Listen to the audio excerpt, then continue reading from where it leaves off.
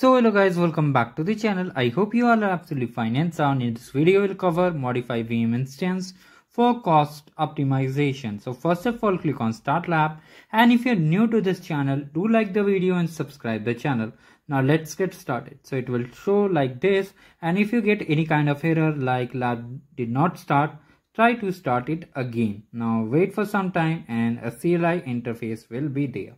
Now here we'll be using some of the basically commands. So the commands there won't be any issue because these are just gcloud command. You can see on the palette there is lab name, project ID and zone. So you need to take care of it. Now what is the challenge?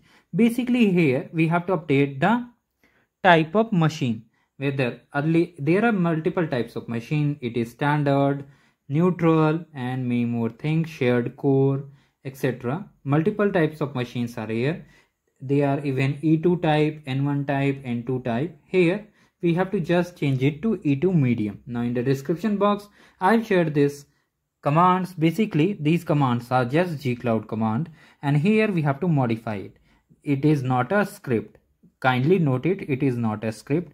From here, change the VM name if it's different and we have to update the zone also because zone updates every time and chances are there VM may update. So you have to update like this as I am doing. So basically each command explains itself only. So basically I will tell you what things we have to do. Don't worry it is a step-by-step guide. It's not like automation which people say. Scripts means automation. So first thing is that we have to export the lab name, basically the virtual machine name and the zone. Okay. After that we have to stop the instance. Just like before use damaged electrical appliance we use to stop it basically turn off the switch. Similarly we have to shut down basically stop the VM then only we have to modify it. Okay otherwise we may face error if you try directly. So just wait for it to get stopped. It will take some time so wait for it. So this will be a little bit step by step guide so that everyone at least of you, every one of you at least understand whatever I am doing.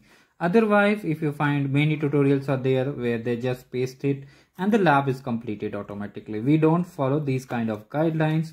So we will cover step by step guide. Okay. Now just wait for it to get stopped. It will take at least 30 to 40 seconds, sometimes up to one minute. So you need to wait for it.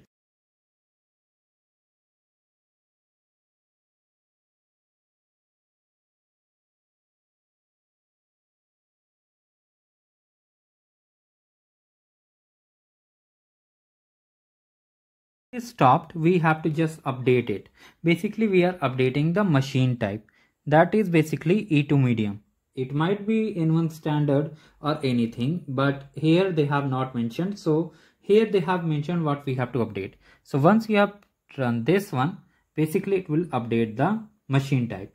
And you remember in the first step we have stopped the instance. Now it's time to start the instance. And once you will start the instance and once all these things are done we will check the score and that means we are done with the lab guys. If you need any other help you can let me know in the comment section.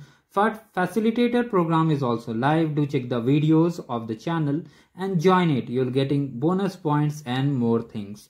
So that's all about this video. If you like the video, do like it and do subscribe the channel. Now let's check the score. As you can see, we have completed this part. Now we'll be checking the score and we are done with the lab guys.